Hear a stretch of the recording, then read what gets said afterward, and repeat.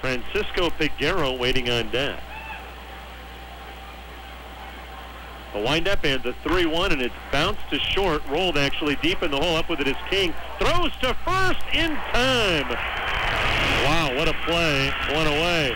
And I said bounced and then rolled. It was actually hit sharply towards the, the possibility exists for one. Hodges doesn't run particularly well.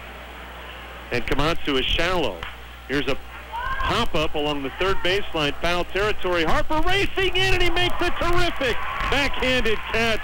Two outs. What a play! TV thing. Although now with the uh, here's a pitch and it's popped up, fouling out a play on the left. With the way things are now, we can just start our own internet channel or just post stuff onto uh, YouTube and hope it goes viral or whatever that is. Yeah. Where things get really popular, right? You need to vary your looks to first base. Don't fall into any, you know, sequ- timing sequence, but definitely go after the hitter now that you have him in this position. One and two. There he goes, and the pitch is bounced through the hole and into right field. It's a base hit. It's a hit and run. Peguero to third, and they're going to send him home. The throw all the way to the plate, and it's dropped by Norris, and it's one nothing. Leonard Davis with the throw all the way to the plate. Peguero just kept on going. The throw to Norris, and he dropped it. And Richmond with some aggressive base. The outfield is deep. Josh with pretty good speed.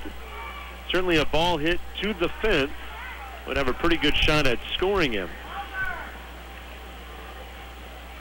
The left-hander sets, and the 2-0 to Adam Fox is swung on and hit in the air to left center field and well. Racing back is Kieschnick. It's over his head. It's off the fence.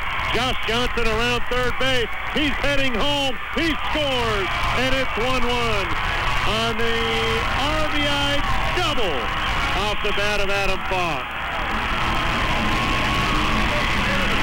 Another good at bat by Adam Fox. Last night, patient, got a four pitch walk, maybe five pitch walk. Tonight, once again, got himself into an advantage count. And a do or die play, but either way, that was going to be a nearly impossible play. I think he played it right.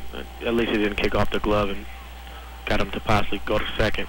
And this one by Kieschnick is hit deep, way back, going, going, gone, and right, and it's 3 to 1 Richmond. Kieschnick got a fastball up, and that ball was crushed. Back in, Chris Rawl the lead at first base.